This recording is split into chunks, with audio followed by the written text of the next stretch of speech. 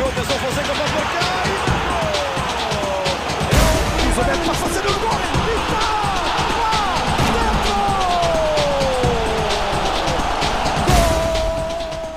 Gol! para os dois lados, ataca Aymar, 0-0.